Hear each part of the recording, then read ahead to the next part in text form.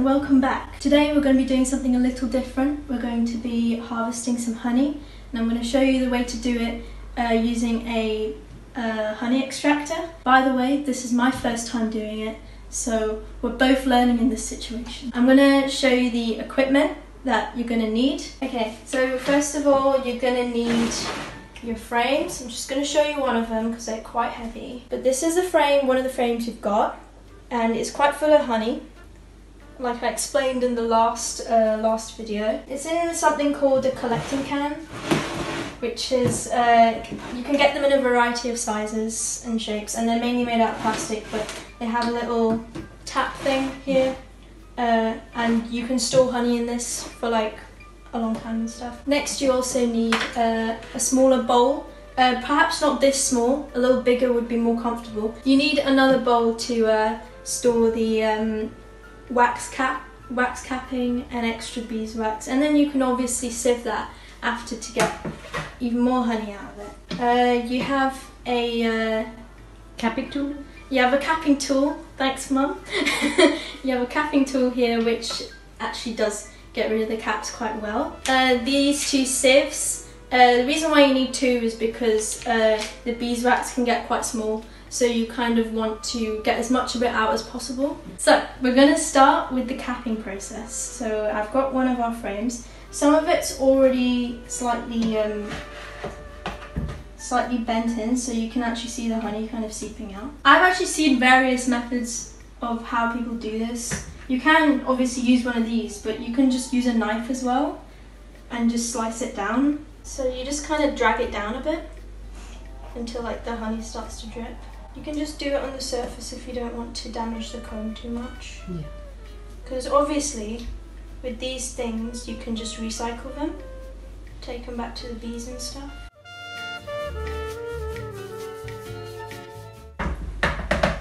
Get off me tool. And it's okay if you accidentally go a bit too deep because you can use whatever's left in this bowl and sieve that as much honey out. Yeah, that's one side basically uncapped. Um, and uh, you basically want to do it on the other side as well for all of your frames. So we're back and I've finished uncapping the uh, comb and I've put it in the uh, I put it in the uh, uh, box. I've forgotten what it's called, but like put it in here so it can seep a little bit. I want to take a minute to talk about the honey extractor. It's like a big um, barrel kind of machine thing. Uh, it's actually one of the smaller ones. You come inside and see that there's um, there's space for three frames here, and um, it's a manual one, so uh, you don't have to plug it into a wall or anything. But it does mean that it's more work. So you kind of just do this and it spins it around quite fast. And the way it works is that it basically spins the honey out of the cells. Uh, obviously you need to go at a reasonable pace, not too fast or anything like that, because you might get the wax flying out too. Uh, it also has this kind of tap thing at the bottom, so the honey would like drip out of there basically. But since we don't have a lot of honey to work with, the case is that we might just have to tip this over into the sieves. But uh, for now, I'm just going to pop the frames in. Um, this is actually uh, rapeseed honey. It's got a different colour to it compared to the other one we've got. Um, the other one, I'll just pick it up and show you, is uh, wildflower honey. So this is all wildflower honey. It's quite golden. So uh, yeah, and you just kind of pop it down like so. And then I'm going to put the next one in quite messy work. So just stick that in there. It should rest on uh, the bottom, the bottom brackets over there. Also get lids with it too, so then you don't get anything splashing. And it's a good practice to just make sure this is fully closed in case anything comes out the bottom. And uh, you just kind of spin it. Spin it and you can already see that it's kind of going around the sides quite a bit. Because if you spin it too hard, then the wax also comes well. But not like You can't spin it lightly or nothing comes out kind of thing. Medium power. And since it's manual, you got to uh, do it for a solid 15 minutes. But you know.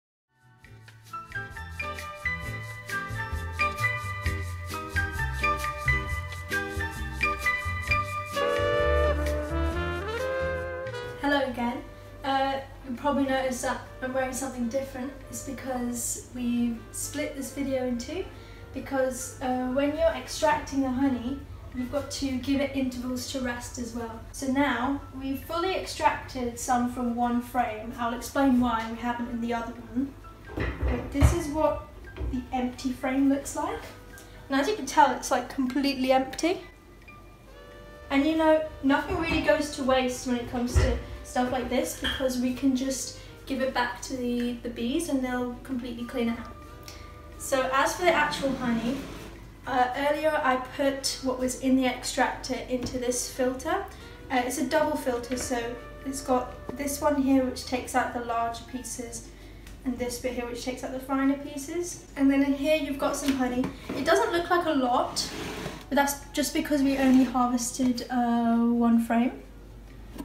Um, and it still doesn't look completely filtered, but I'm going to run it through the filter once more. You're probably wondering what we're going to do with these pieces in here. And um, you don't actually have to waste these, you can just put these straight back into the filter because there's actually quite a lot of honey in these. Usually you use more than one frame to, um, to harvest honey, but like uh, since we only used one, it doesn't actually meet the level. So when you uh, harvest honey, you want to be doing it in bigger batches. Since this is a demonstration, it's not the end of the world. Um, but what I'm going to do, I'm going to filter it once more, and then we're going to put it into bottles. Hi, so we're back. I finished filtering it twice and I've put it into some jars. Uh, we managed to get two jars of honey. It doesn't look like a lot, but this is quite a wide jar, so I'd say a decent amount for just a, one frame.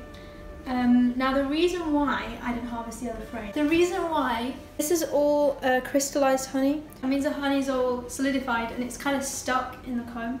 So we couldn't get it out through the extractor, so we're probably going to just have to give this back to the bees. But you know, uh, there's really not much way of telling if it's crystallized or not, so it's a bit of a gamble. Now, um, you're probably thinking, what else can I do with, with you know, the bee stuff? So um, there's a lot of things you can do with the beeswax as well, so you can actually make a lot of like beauty products. So you can make like lip balms and salves and stuff. Um, we don't really personally do that stuff, we kind of just do it for the honey. But uh, it's also, um, beeswax candles are quite a big thing. And, uh, you know, beeswax is quite an expensive wax, so you can make a, you can make uh, some good, some good money. You, you can make a little bit of money through uh, bee goods and stuff. So, this is how you extract honey. Uh, there's probably a simpler way to do it, um, but uh, this is the way I've done it and it seems to work well for us so you know if you liked it give us a thumbs up and hit subscribe if you want to see more and if you have any other suggestions pop them in the comments below uh, I'll probably respond to them but yeah uh, thanks for watching and I'll see you in the next one